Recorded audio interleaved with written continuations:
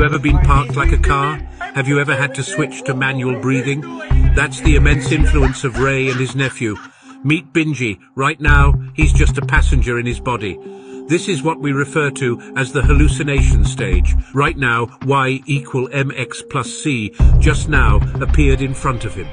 What do I mean? He's currently not able to apply what he's seeing in a sensible way. It just doesn't make sense in real life, just like that formula.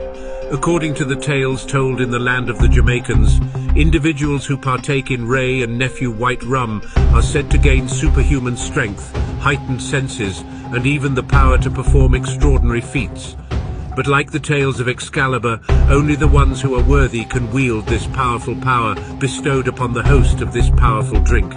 Those deemed unworthy by this mighty drink may incur dangerous side effects. Like a car leaving from sixth gear to first, all motor skills stop. The conscious mind, suddenly aware of this intricate process, focuses its attention on the breath.